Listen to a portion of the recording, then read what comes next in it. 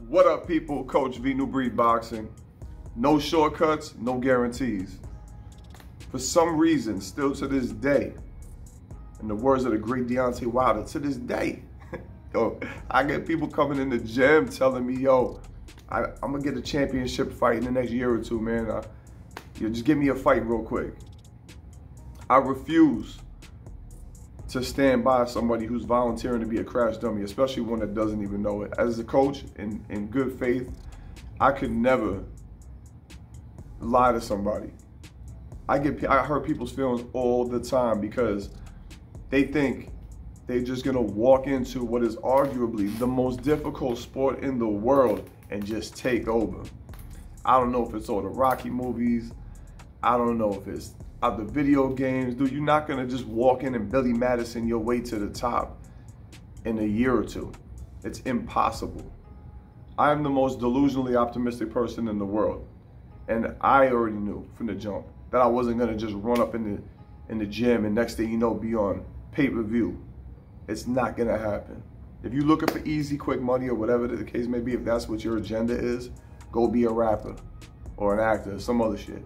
It's not happening in boxing. It's impossible. Think about it like this the 10,000 hour theory. And I believe there's exceptions to the rule. But let's just start with that 10,000 hours, two days and two hours a day, 365, no days off, right? It's like 13.6 years approximately, right? Let's just say you're an exception to the rule and you do it in half that time. You train in four hours a day right? That's still what, like six years and change, right? That's just to get the skill set. That's not including learning, you know, doing the conditioning, the body hardening, dealing with the mental, physical, and spiritual stress of getting beat up, straight up. Like even the guys that you see on TV that you say, oh, he's trash, he's a paper champ. Guarantee you, he came back from ass whoopings that would make any the, the average person quit on sight. They would just be like, fuck this, I'm out of this. The sport is way too hard.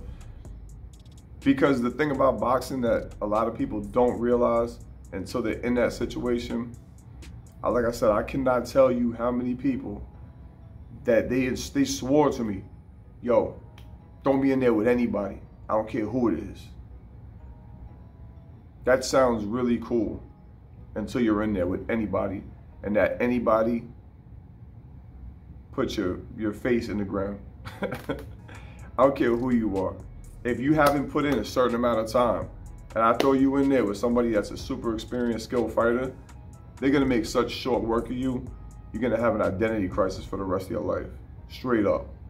So don't do it to yourself. Put that time in. Think about it. 10,000 hours. I mean, you know, even if you don't do the whole 10,000, I mean, listen, freaking Mozart when he was writing his shit, his music, right? when he was at hour 2000, I bet you his music was trash. You know what I'm saying? I'm just being real.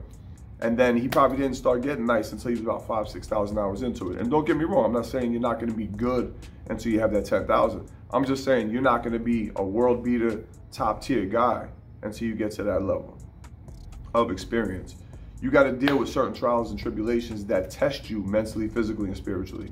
See, that's the thing about it. It's not just about learning, it's also about getting tested. And if you were just to be an uh, aspiring musician, let's just say, that doesn't come with all the baggage that boxing comes with. The physical punishment, the damage, some of it's permanent, lifelong damage that you're gonna deal with. You know, there's a lot of dudes walking around there thought they was just gonna walk up in the gym, then now they're permanently blind in one eye, or they got brain damage, or they got a you know some other disability now. Boxing is merciless, man. It's not just something that you can walk into, man. Like I said, I don't know if people just look at the gloves and they think you know, you know, you just get punched in the face all day and nothing happens. Take it from me, and millions of other people that found out the hard way. If you want to really be a top dog in this sport, you got to have the trifecta. You got to have the time in. You got to have the right guidance. Because that's another thing.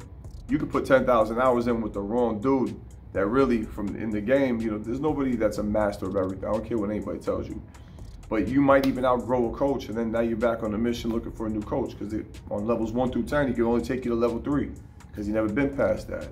or he don't even want to take you. He's not even willing to ride it out with you. So you got to have the time in, the right guidance, and on top of that, you have the right connections. Because I know guys that are great fighters that could never get a big money fight on pay per view because they're blackballed from the game because they don't got the right connections. Maybe they don't got the right look or they're just not easy to work with.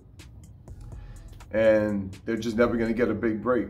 And they're the most talented fighters. I'm telling you, I guarantee you, there's guys out there that are way better than some of these dudes you see that have great marketing machines behind them and great promoters.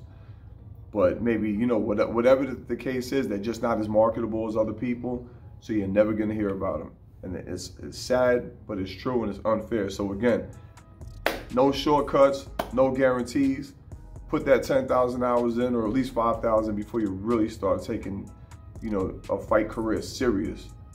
And, you know, if you can withstand all that, then you deserve to be there. That's how I see it, man. So anyway, I hope you found this informative. Like, subscribe, comment, share, go hit that notification bell. We about to hit 9,000 subscribers today, moving right along smoothly. Um, and put some ideas in the comment section. I got a whole list of videos I already got written out, but sometimes you guys come up with some great questions. So if you got any good questions, man, put it in the comment section and I'll cut you ahead of the list, man. Till the next time, we up out of here. Ow.